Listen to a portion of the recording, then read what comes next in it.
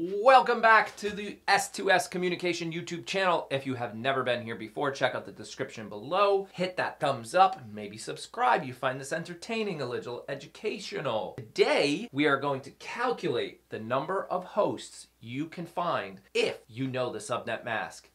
Hit it!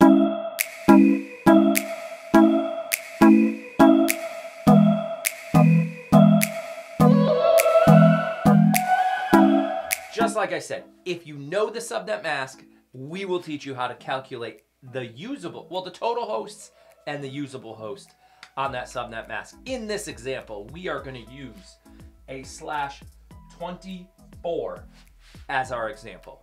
So 24 is the subnet mask in shorthand. If we go back to our high school days, well, at least my high school, technical high school, good old resistor color code and like stuff like that, that would be 24 ones.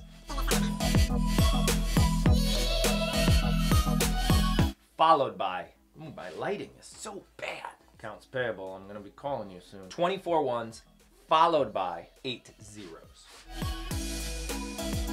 Totaling 32 bits. So these last eight bits over here are what we use for our hosts.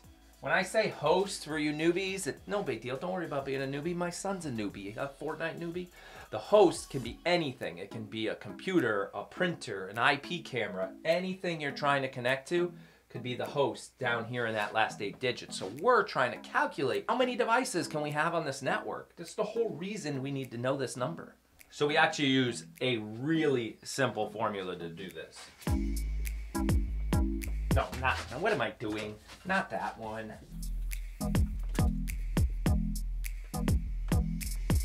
H equals 2x minus 2, H standing for host, number of hosts. H is going to stand for host IDs, and in this case, it's actually going to be usable, usable host IDs, and the X, this number we talked about over here, eight zeros. So in this example, X is eight. We're gonna get rid of some of this stuff here. Clean it up a little bit, right? We'll put eight here, right? And then we'll start doing our fancy math. So that simple calculation, two to the eighth power, you get 256 host IDs on this network. But why are we gonna minus two? We have to minus two out to get 254 usable, let's call it usable host IDs.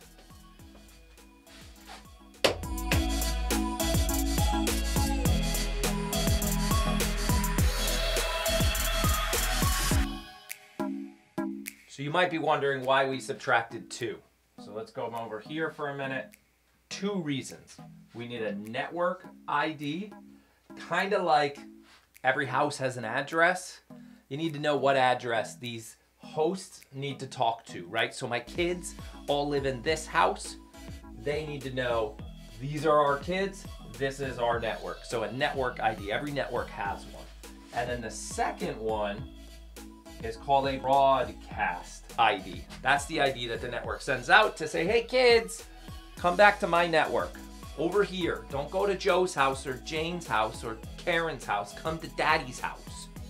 So once you have your host ID and your network ID, any address in between those two is used on that subnet. You could actually use that information to subnet a subnet, but we're not gonna get into that in this video. To be honest, you could also just type in Google or use the link I put in the description below to calculate a subnet mask. I hope you enjoyed this video.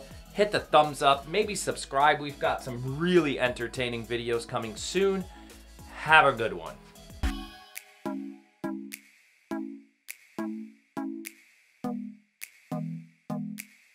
Accounts payable.